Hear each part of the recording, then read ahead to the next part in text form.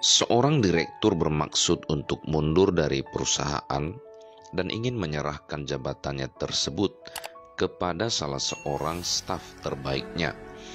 Untuk itu, ia memanggil seluruh staf, memberikan masing-masing sebutir benih padi di tangannya, dan berkata, "Rawat, pupuk, siram dengan teratur benih ini, dan kembalilah tiga bulan dari sekarang dengan membawa tanaman yang tumbuh dari benih ini." Yang terbaik akan menjadi penggantiku sebagai direktur di perusahaan ini.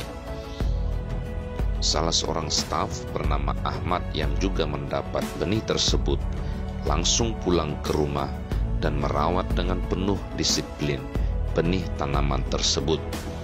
Setiap hari benih itu ia siram dengan air dan diberinya pupuk.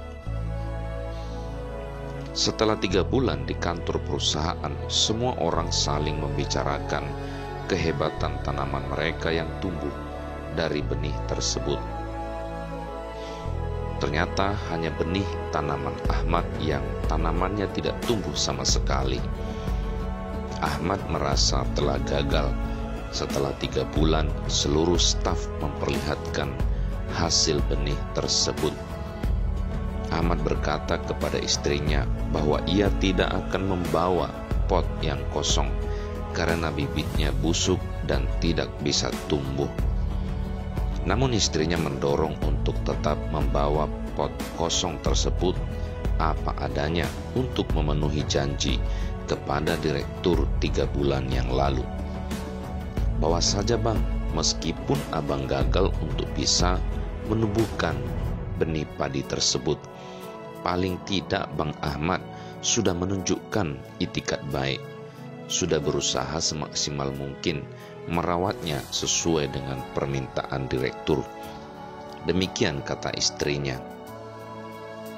Baiklah, jawab Ahmad. Meskipun dengan hati ciut karena merasa tidak bisa melaksanakan perintah sang direktur dengan sebaik-baiknya. Masuk ruang briefing, Ahmad membawa pot kosong. Seluruh mata memandangnya kasihan.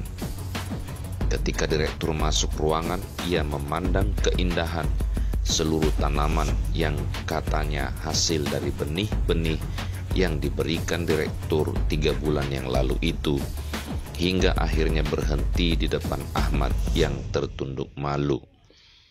Sang direktur memintanya ke depan dan Ahmad disuruh menceritakan secara kronologis proses penanamannya sampai tidak bisa tumbuh Ketika Ahmad selesai cerita, direktur berkata dengan antusias, "Beri tepuk tangan untuk Ahmad, direktur kita yang baru sekarang." Sang direktur kemudian menceritakan, "Semua benih yang kuberikan kepada kalian sebelumnya telah kurebus dengan air panas hingga mati dan tidak mungkin tumbuh lagi." Jika benih kalian dapat tumbuh, berarti kalian telah menukarnya dan berbohong padaku. Kecuali Ahmad, ternyata hanya dia yang jujur. Taburlah kejujuran, karena dengan menabur kejujuran akan menuai kepercayaan. Jangan pernah takut berbuat jujur, tapi takutlah jika Anda berbuat tidak jujur. Yang hebat lagi istrinya Ahmad.